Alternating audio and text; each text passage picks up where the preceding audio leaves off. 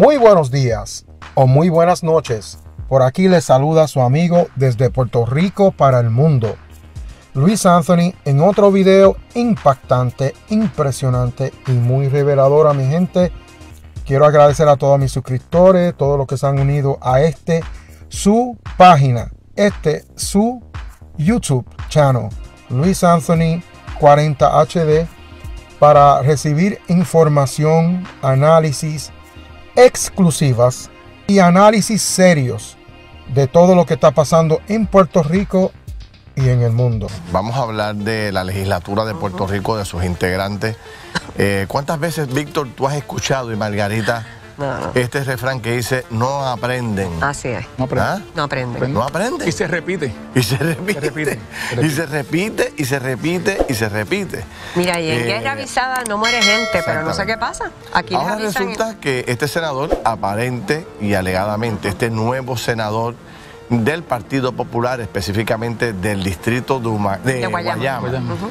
eh, de nombre Albert Torres, Torres. Berríos, Berríos.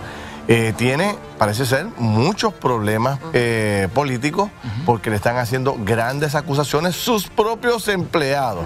¿Qué dice nuestro panel político de analistas aquí los viernes? El profesor Jorge Smith. ¿Cómo está usted, profesor? Yo muy bien, encantado de estar aquí y de que sea viernes. Sí. Está bueno Coincido. eso, está bueno. Y también está el licenciado Carlos Mercader. Don Carlos, ¿qué cuenta? Todo bien, gracias a Dios. Buenas noches, Felina. Buenas noches, Margarita. Saludos, Carlos. Víctor, el profesor y a todos los televidentes. Fíjense que eh, este detalle, este senador que lleva solamente nueve meses en el poder, señores, todavía no llega ni a los nueve, ocho y pico. No este, ya hay un grupo de empleados que están haciendo señalamientos muy parecidos con los que se hizo con eh, eh, Charbonnier Sí. y también el representante del Valle. Nueve empleados han radicado declaraciones juradas donde dicen que de alguna forma u otra el senador los trata verbalmente muy mal, pide dinero eh, para sus asuntos personales y también para la compra de boletos a sus propios empleados. Hay un informe de- en, la, Oficina de Recursos Humanos del Senado de 200 páginas. No sabemos, ¿verdad?, cómo al final del camino terminará esto, pero cómo lo ha manejado el presidente del Senado hasta ahora y cómo ven el comportamiento de este senador por lo que ha salido públicamente, profesor. Bueno, Ferdinand, como, como tú dijiste esta mañana, nada más. Profesor, la- perdóneme, perdóneme. Sí. Es que Margarita preparó una historia Sí. espectacular en particular y se me había olvidado. Margarita. Mira, es que ante estos señalamientos decidimos de inmediato llamar a la oficina del legislador. Nos dijeron que en efecto no estaba, o sea, hoy definitivamente se fue a trabajar en su distrito, que es Guayama. Así que de todas formas decidimos acudir, tocar la puerta y llegar hasta allí. Les ¿Qué pasó? reportaje. Vamos a ver. Albert Torres Berríos está en su primer cuatrienio y representa el distrito de Guayama por el Partido Popular. Sin embargo, ha salido a la luz pública un alegado esquema de maltrato verbal, solicitud de dinero para varios propósitos, entre ellos para uso personal y mal uso de propiedad del Estado. Todo esto llevado a cabo supuestamente por personal de la oficina del legislador. Así que llegamos al Capitolio. Se habla de un patrón de mal uso de la propiedad del Estado, se habla de agresión verbal a los empleados. ¿Usted se ha sentido alguna vez así? No, yo no. ¿Alguna vez le ha gritado? No, ¿No? Y entonces estos compañeros suyos que han hecho estas denuncias, no estoy autorizado a hablar de eso. pero habrá un comité de odio en contra de él. No, no sabría decirte. Aquí están diciendo que señalan al, al senador, ¿verdad?, por maltrato verbal. Eso no es poca cosa. Eso es que le gritan a uno, o le digan malas palabras, le falten el respeto. Dice que pide dinero a los empleados. ¿Qué es eso? Pues en realidad yo no, no puedo hablar sobre eso, pero yo no he tenido ninguna mala experiencia ni nada que comentar sobre El eso. senador nunca le ha pedido dinero a usted para nada. Nunca, nunca. O para cosas del partido, para cosas de la oficina o personal, nada. Nada.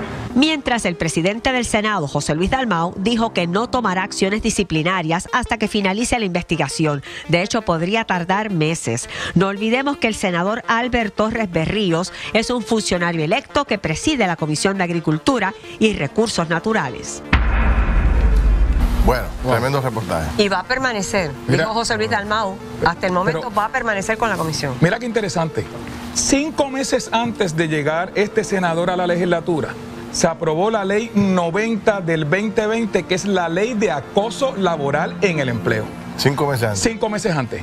Posiblemente esa ley se aplique con este, con este senador, porque todo lo que tiene que ver con maltrato verbal, con gritos, con palabras o ese son elementos constitutivos del acoso laboral. Y la misma legislatura que aprobó la ley va a tener que aplicársele la comisión de ética a este senador si en efecto esas alegaciones son ciertas. Wow, ¿cómo lo ves, profesor?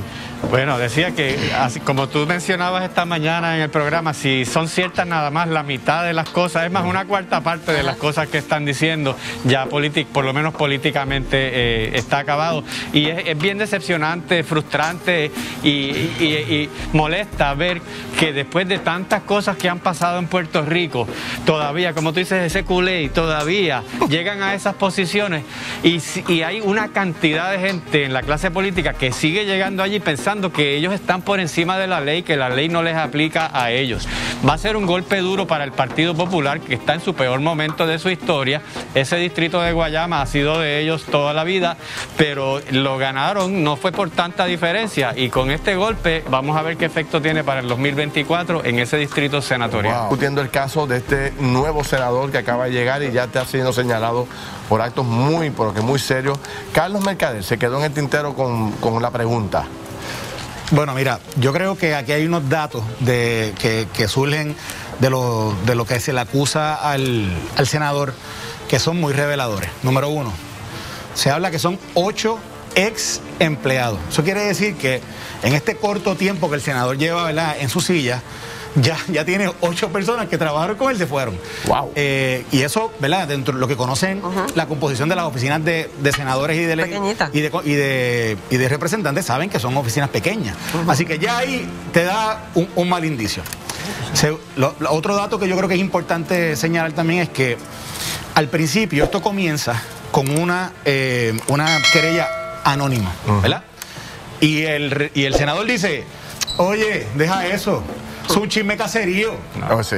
Oye, un comentario sumamente clasista, pero trata de despacharlo como cuando a Cuomo vino una muchacha y dice que había sido, había sido víctima de hostigamiento laboral. Pasaron cuatro o cinco meses, hubo investigaciones y ¿qué pasó? Tuvo que renunciar el, gobernador.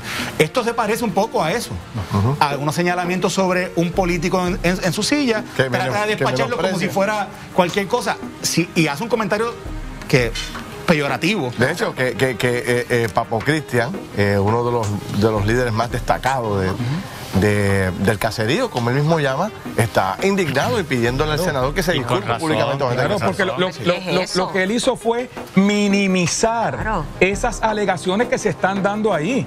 Y 200 páginas no es una cartilla fonética. 200 páginas es como una tesis doctoral. El, presidente del Senado debió haber sido más fuerte con él. pregunto si removerlo de las comisiones. Eh, hasta que se termine la investigación, hasta que salga el informe final, o es muy temprano todavía? Bueno, eso lo puede contestar el propio senador, lo contestó en una entrevista en febrero. En febrero le hicieron una entrevista al senador, al senador Torres Berríos sobre qué tenía que pasar con la corrupción y él mismo dijo, hay que establecer reglas más estrictas para identificar y castigar la corrupción. Pues él mismo dijo que para él hay que identificarle reglas estrictas. Lo primero que debería hacer el presidente del Senado es removerlo de, la presidencia de las comisiones. Él no lo puede sacar del Senado porque eso lo tiene que hacer el cuerpo completo. Pero tiene que haber un gesto ante el pueblo de que eso tiene que tener consecuencias. aquí, aquí los televidentes yo no sé si se acordarán una canción de Wisin y Yandel y Tempo que decía, silencio, deja que hable el dembow. Aquí no hay dembow, pero hay un silencio profundo de parte de José Luis Dalmau con diferentes temas que pasan dentro del Partido Popular Democrático. Pasa con los problemas anteriores que se estaban dando en la Cámara y ahora pasa con esto. Algo que, como dice Víctor, un, un docket voluminoso, 200 páginas, 8 ex empleados, personas que el, presidente del Senado veía caminando allí. Esas mismas personas se creyeron contra este senador y decir, ah, no, deja que el proceso pase, no, deja que, deja que lo investiguen. Es un silencio que yo creo que le hace daño a la institución y también le hace daño al partido. yo, yo creo que en lo procesal le toca a la Comisión de Ética eh, eh, eh, analizar el caso y básicamente producir una recomendación. Eso sí, yo esperaba del presidente del Senado, porque eso hay que decirlo, yo esperaba que fuera más contundente en cuanto a lo que debe ser un mensaje para todo el Senado, ¿verdad? De, de, eso, eso, ahí llegaste, llegaste, llegaste. El Senado, ser sumamente puntual, que él no va a aceptar ningún tipo de no corrupción. A dejar pasar a nadie. A nadie. El mensaje. A nadie. Y de hecho, es importante, yo creo que destacar que el informe lo prepara la Oficina de Recursos Humanos del Senado con una investigadora del Senado. El Senado. O sea, no es un informe que viene de afuera. Ya, o sea, que ya José Luis Dalmao sabe lo que dice ese informe. Correcto. Mira, y sabe el contenido de las declaraciones, juradas. O sea, esto no es, de nuevo, no son, no, sé. no son cartitas anónimas, no son, o sea, son declaraciones juradas. serio? Estas ocho personas están diciendo que lo, juraron que lo que dicen ahí es verdad. Sí. Yo, no, Pero yo, creo que Víctor tiene un, punto, tiene un punto importante. Vamos a retomar ese punto ahora cuando vengamos, porque los líderes tienen que eh, o sea, establecer la regla, el norte, enviar el mensaje contundente bajo mi liderato una, dos, tres cosas. No hay, un, hay, un, modelaje, hay una pauta gerencial que los líderes tienen que encarnar. Compartan este video para regar la verdad. Que la gente, que los periodistas no te van a decir. Que los analistas pagados no te van a decir. Un abrazo, mi gente.